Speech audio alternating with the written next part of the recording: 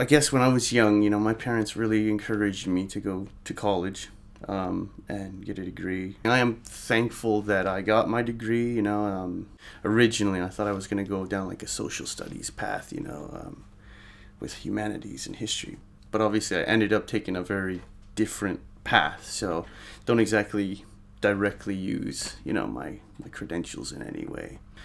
I do think often that college is basically a it can be beneficial, but it's best to get in the field, you know, like start working for people that are doing what you want to do, take an internship or whatever, um, and just start making mistakes in the real world rather than reading about them in books, you know. Generally, like, I actually do my best work at home, um, wherever I am, so, you know, just usually I rent an apartment or sometimes like a shared penthouse with a few friends or whatever. I guess one of my favorite spots has been Chiang Mai, Thailand. Um, it's just like got everything you need, but it doesn't feel like too big of a city, you know. Very spread out and much more quiet than somewhere like Bangkok here. Much more relaxed. Usually there's not so many demands on your time, like people aren't going out every single night of the week or anything.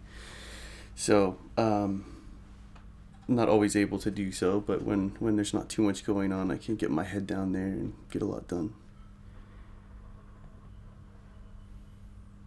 Above above anything else, like more important to me than like the amount of money I earn is just that ability to have as complete flexibility as possible and freedom, like just the the ability to go where I want when I want to do my work whenever I want and kind of choose who I work with.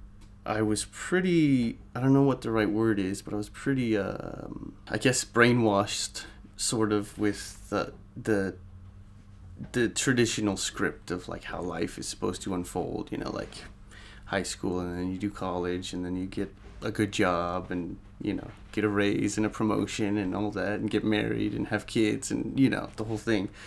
I just it took me a while before I really kind of stepped back and examined that and other possibilities. And I'm quite happy like with an alternative to that now.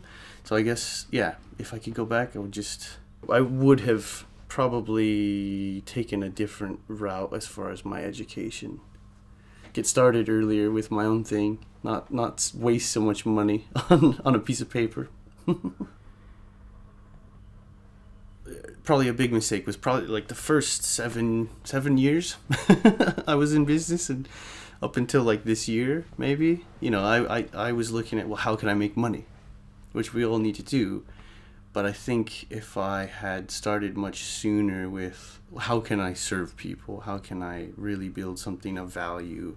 How can I solve people's problems um, that like that that's when my business starts to thrive is when i'm focusing on those things. You know i'm more and more fulfilled and my customers are obviously more happy because i'm doing stuff for them not for my bank account. And um and i think that the money follows you know like if you're doing that if you're focusing on helping people and contributing to society in whatever way you know like if you're doing that then you will reap the financial rewards.